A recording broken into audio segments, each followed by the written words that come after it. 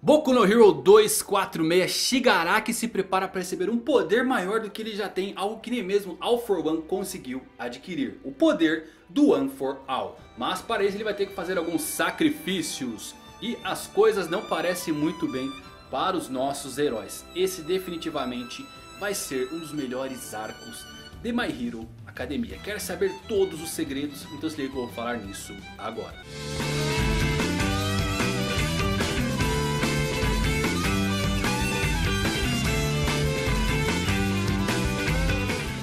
Fala galera, Evandro Fusari com mais um vídeo pra vocês. Como vocês estão? Espero que estejam fantasticamente bem. Boku no Hero 246, meus amigos, esse arco caminha para ser um dos melhores, possivelmente a guerra dos melhores de Boku no Hero. Eu acho que o arco de Wano de One Piece acendeu a chama em todos os mangakas, não só em Horikoshi, porque em outras séries estão bombando. Eu gostei muito desse capítulo, dos prenúncios que estão fazendo e tudo indica que teremos um pequeno time skip. Sim, então se você quer saber esses segredos, primeiro se inscreve se ainda não se inscreveu. Inscritão Galáctico, deixa o like para dar uma fortalecida, ativa o sininho para receber novas notificações.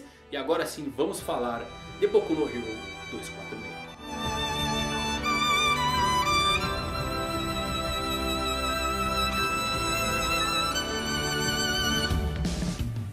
O capítulo começa com Shigaraki Tomura ali sem camisa em uma sala de operações com o Doc. Que pergunta por que ele queria mais poder do que já tinha. Tomura não precisa mais tocar em nada para apodrecer as coisas. Ele basicamente se tornou a destruição encarnada.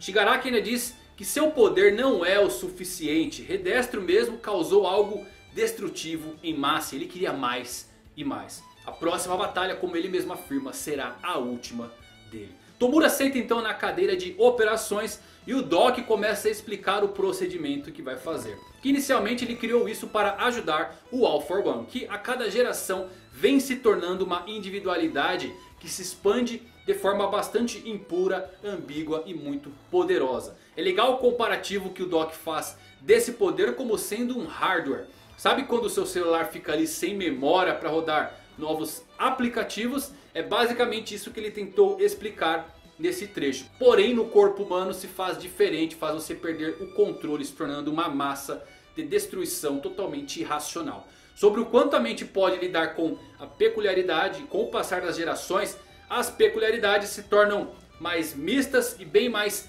complicadas, se assim pudermos dizer. Posso colocar por exemplo um videogame, os jogos costumavam ser bem simples, ocupando pouco espaço de memória, mas hoje em dia eles precisam de um hardware bem melhor para rodar à medida que se tornam mais e mais complicados e grandes. Da mesma forma, as peculiaridades estão ficando cada vez mais difícil de se usar e se lidar. Com base na sua complexidade que aumenta a cada ano. Atualmente isso não é um problema para a maioria, mas o All for One permite que o usuário faça e use peculiaridades de outras pessoas ter tantas peculiaridades em um único corpo pode ser demais para uma única mente. Então agora o Shigaraki está se aprimorando, por assim dizer, para melhorar o quanto ele vai poder utilizar esses poderes. Assim como o All for One.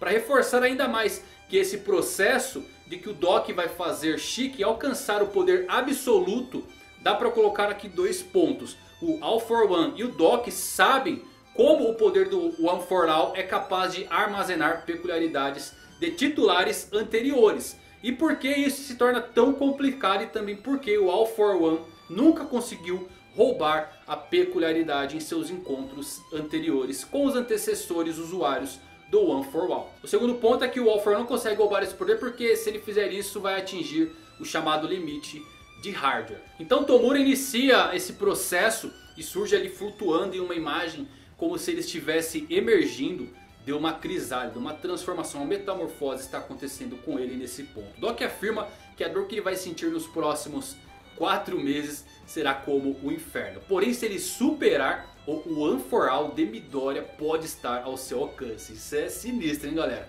Aparece então o Redestro sorridente perguntando a Hawks sobre os livros do Exército de Libertação que ele estava distribuindo aos heróis. E parece que Redestro não percebe que o código está naquelas páginas. Ele diz que Hawks parece ter lido bastante os livros e entendido ele. E é uma boa maneira de anunciar e chamar a atenção da geração mais jovem para as palavras de Destro. Com um sorriso meio macabro ele pode indicar que as coisas não são como estamos pensando. Talvez ele descobriu alguma coisa. Bom, Hawks não pode mobilizar os heróis sem antes mapear todos os vilões do lugar para evitar incidentes maiores. Vamos então para Endeavor que lê o código de Hawks que basicamente diz para ele preparar os alunos para o caso de fracasso. Tipo, uau, isso vai ser brutal. Certamente vai dar muito ruim para os heróis do topo. Deixando basicamente os alunos sozinhos contra uma ameaça nunca vista. A Burning diz que o Endeavor só iria trabalhar com o Shoto. E diz que os outros dois teriam que ficar sob a tutela dessa. E o Bakug fica maluco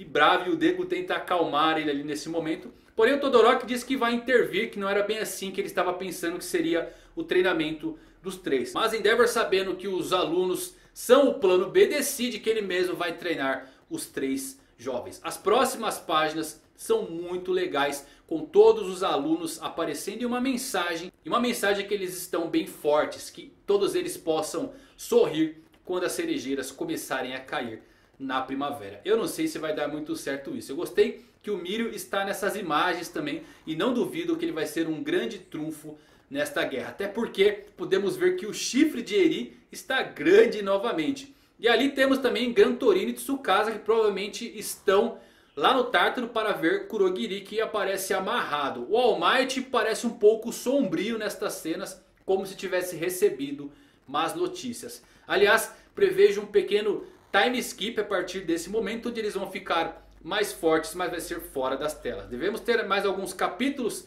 de interação para situar os alunos, mas no fim isso deve vir a acontecer. Este capítulo não poderia ser mais ameaçador nem se tentasse.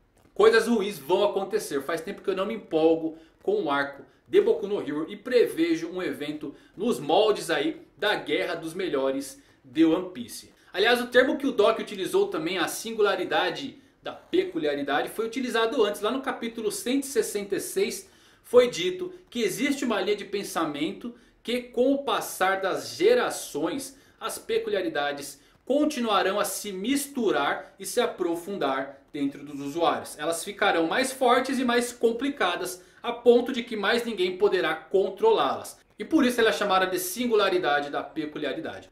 E o Doc também está aplicando esse conceito aqui dessa capacidade singular no All for One. De consumir e misturar um número infinito de poderes. Ou melhor, quem sabe até mesmo esse conceito pode ter se originado no All for One. Que pode ter sido extrapolado para toda a sociedade como um todo. Ele pode ter sido o primeiro de todos. Bom, as últimas páginas estão tentando dar esperanças para a próxima geração. Mas eu não acho que isso vai acontecer. Há muitas coisas ameaçadoras espalhadas por estas páginas. O que mais me chamou a atenção é o chifre de Eri que está disparando, então sua peculiaridade provavelmente aumentou aí o suficiente para que seja utilizável novamente. E estou ansioso para ver o nosso Tintin de volta. Então é isso galera, um capítulo cheio de prenúncios de que as coisas não vão muito bem para os heróis do topo. Quem sabe, quem sabe as coisas vão bem ruim mesmo e os heróis tenham que fugir, viver no subsolo para outro país se reestruturar. E aí sim tenhamos um time skip deles um pouco mais velhos.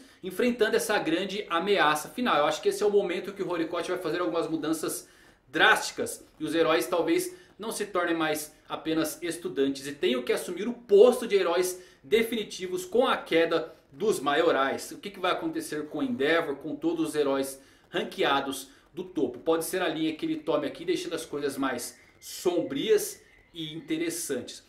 E fica no ar, será que Shigaraki vai conseguir o poder de Midoriya? Seria extremamente absurdo ele ter o controle desse poder. Porém sabemos que esse poder tem que aceitar o seu usuário. Como ele faria uso disso? Fica o mistério no ar. Será que eles vão conseguir contornar isso? Shigaraki vai ficar tão poderoso que ele vai conseguir suprimir todos os antigos usuários e utilizar o poder a seu bel prazer. Interessantíssimo, hein galera? E o All for One, onde ele está? O que, que vai acontecer? Será que ele vai vir a Terra novamente, All Might com aquela cara sombria, muitas coisas a caminho. Então é isso galera, deixa seu pequeno review aqui embaixo, quero saber o que, que você achou. Também se você gostou, manda um like, compartilha, chama os amigos, avisem eles aí que tem vídeo de Boku no Hero. Mas é isso, valeu por assistirem, fiquem ligados até os próximos vídeos, fui.